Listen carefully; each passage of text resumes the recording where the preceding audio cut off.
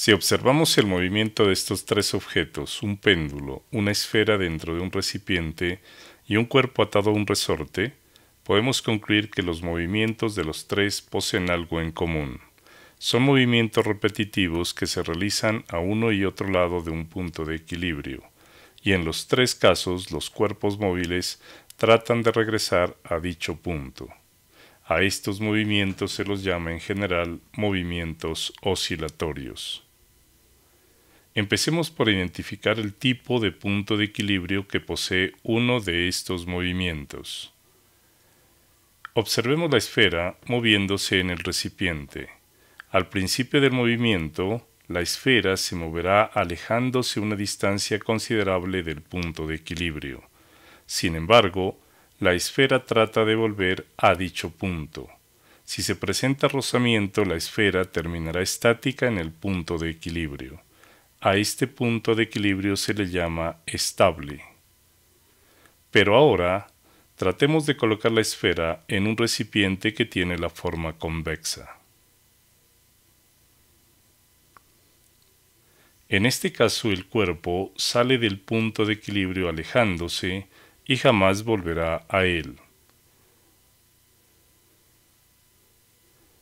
Es posible que logremos hacer que un cuerpo se mantenga en este punto, pero una vez que éste se mueve, es prácticamente imposible que vuelva por efecto de su propio movimiento. Este es un ejemplo de punto de equilibrio inestable. El movimiento oscilatorio es producido por la acción de una fuerza restauradora que trata de devolver al móvil a su posición de equilibrio estable.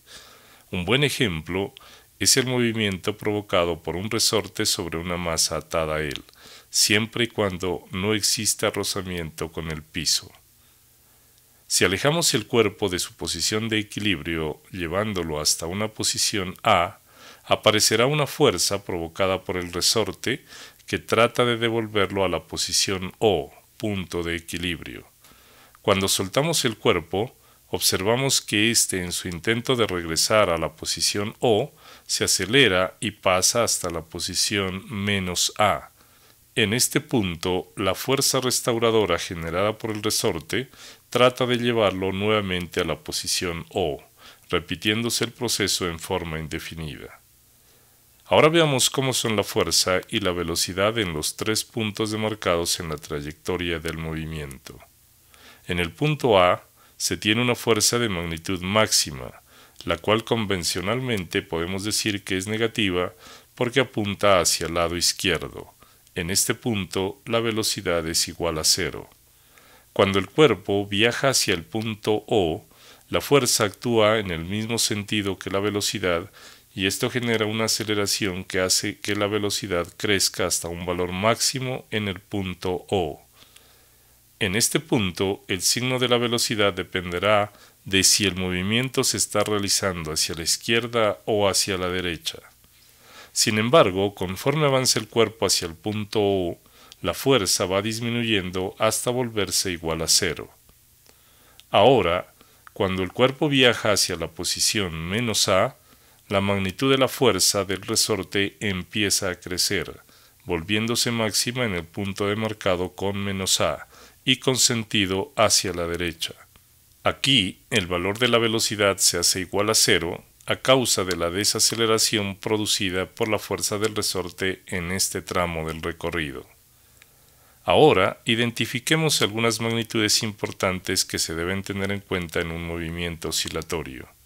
Una oscilación es el viaje redondo que realiza el móvil visitando dos veces los puntos de la trayectoria a excepción de los puntos extremos, los cuales solo visitará una vez. Si tomamos como punto de partida el punto A, una oscilación consistirá en viajar hasta el punto marcado con menos A y regresar nuevamente al punto A. Identificado el concepto de oscilación, ya podemos hablar de lo que es periodo y frecuencia en un movimiento oscilatorio. El periodo es el tiempo que tarda el móvil en realizar una oscilación completa. Al ser un tiempo, su unidad de medida en el sistema internacional es el segundo. Una forma de calcular el periodo es poniendo a oscilar el cuerpo, tomar un determinado tiempo y contar el número de oscilaciones que realiza en ese tiempo. El periodo se obtiene dividiendo el tiempo total entre el número de oscilaciones realizadas. La frecuencia es el número de oscilaciones que se realizan en la unidad de tiempo. La unidad básica para medir la frecuencia es el Hertz, que es equivalente a una oscilación por segundo. Una forma de calcular la frecuencia es dividiendo el número de oscilaciones entre el tiempo empleado en realizarlas. Ahora observemos la relación entre el periodo y la frecuencia. Como lo hemos visto en las definiciones de periodo y frecuencia, podemos decir que matemáticamente el periodo es el recíproco de la frecuencia, esto quiere decir que la multiplicación de las dos magnitudes siempre será igual a 1. Dicha relación suele expresarse como periodo igual a 1 sobre frecuencia. Veamos el efecto que tiene esta relación en un movimiento oscilatorio. Si aumentamos la frecuencia del movimiento, es decir, que lo ponemos a realizar mayor cantidad de oscilaciones en la unidad de tiempo, el tiempo de cada oscilación disminuye, o mejor, su periodo se vuelve pequeño. En cambio, si bajamos la frecuencia, el periodo va a aumentar.